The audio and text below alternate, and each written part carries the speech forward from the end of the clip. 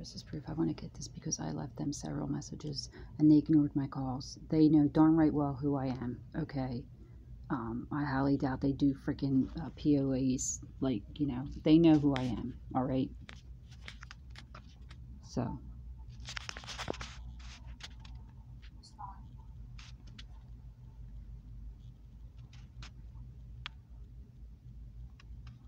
Somebody send you a certified letter. You don't need to send you a certified letter. Hmm. You don't know my name, and it's on the envelope.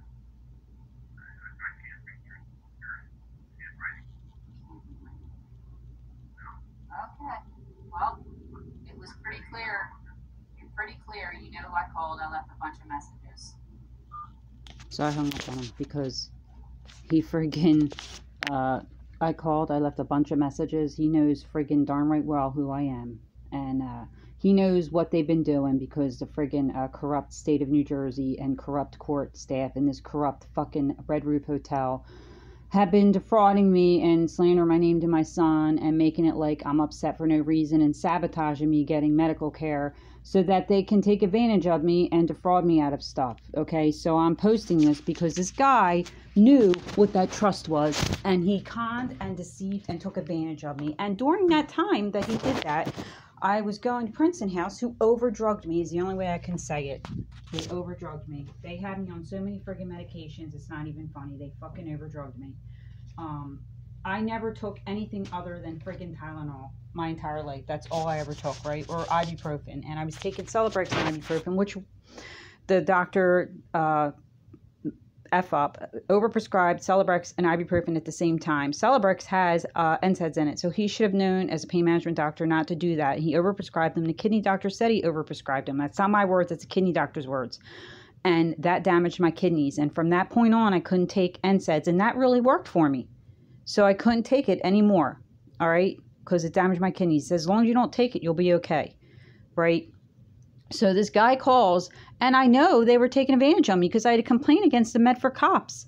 And unbeknownst to me, that, that it's like a whole thing. It's all connected. New Jersey State Police detective in charge of victim services told me I should quote unquote go for therapy. He was quote unquote helping me as he was taking advantage of me, re-victimizing me. So a therapist they sent me to Providence House had the chart and the, the reports so they knew they lied in my chart, but I didn't know. I thought it odd that when they sent the letter to you know the, whoever I can't remember who they sent it to, but they only sent my um, report regarding my son. Like they didn't they only sent the charts. They didn't send a report showing that I actually had a serious head injury. It wasn't treated.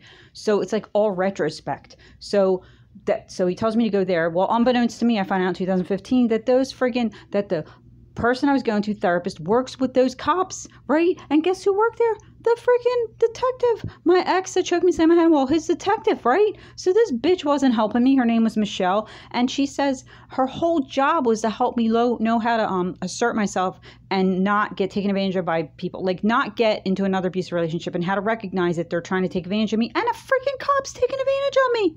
And she says after he does that, oh, I knew he was going to try and date you. What? Are you kidding me? she knew and she didn't say anything and she worked with those cops in Gloucester County, right? So they were harassing me from the moment I sent that letter to that guy. He called me as soon as he got that letter. He fucking called me. This is why I curse. He fucking called me and the letter said, "Do not contact me again."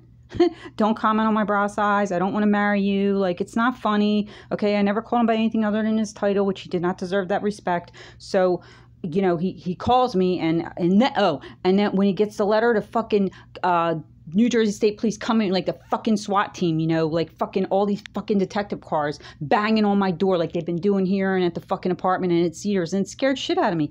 And Michelle knew why they were doing it. She's a fucking scumbag. She's the one that told me to send that letter. All I wanted was for that cop to leave me alone.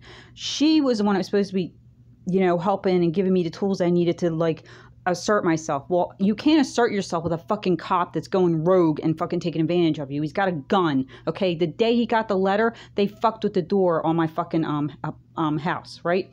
And then they were going back and forth, fucking harassing me. New Jersey fucking DOT, fucking uh the Medford cops, the fucking fire department. They were fucking just literally, it's a small street, Mill Street, small street. They were going back and forth, back and forth, back fucking harassing me. Anybody came to see me, they fucking harassed. So nobody came to see me anymore, right?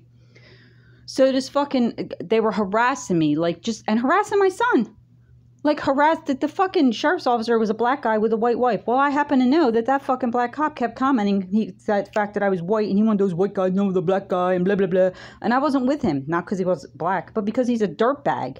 Okay, he's worse than my exes. He said he was going to tell my exes I was his. He knows as a fucking victim services uh, cop that uttering those words to my exes, even though I wasn't theirs, that that will put my safety at risk. And who the fuck does he think he is? I'm not a fucking piece of property, right? So he says that um, and so, like I said, the cop was at the other end of the fucking um, Cedars, right? And every time my stuff got stolen, this is how fucked up I was. I fucking didn't even occur to me because I fucking believe these fucking authority figures. I had that much trust for them. Every time they stole my stuff, they'd go down to the other fucking end, talking to that cop probably because he knew who was stealing it. And there was a fucking woman in per- work for parole office, and that would be my ex other one. Okay, so they'd go down to that end. He had a white wife, and they'd fucking get my property back. Well, you shouldn't have been fucking stealing it to begin with, right?